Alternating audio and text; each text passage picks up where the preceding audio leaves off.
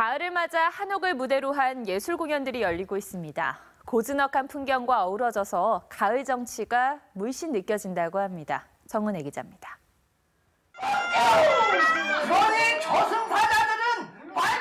한옥마당 한가운데 펼쳐진 구판.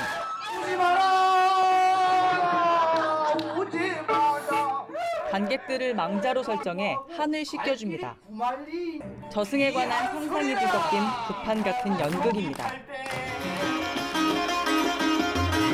가옥 안채에 마련된 인도 명장의 무대.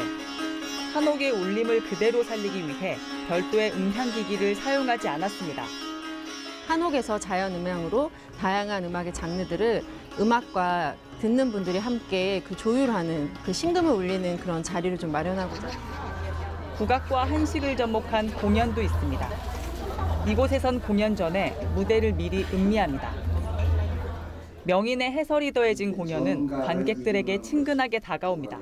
황병기 명인께서 여기서 이제 해설자로 서주신다는 소리 듣고 찾아와 봤거든요. 전혀 예상치 못한 것들이 이제 많이 볼 수 있어서 에, 사실은 국악이라는 게 딴 음악이 아니라 우리 할머니 할아버지들의 음악이거든요. 뭐 국악을 쉽게 자연스럽게 받아들이는 거 힘을 써볼까 하는 거. 한옥과 어우러진 예술이 가을의 정취를 더하고 있습니다. TV조선 정은혜입니다.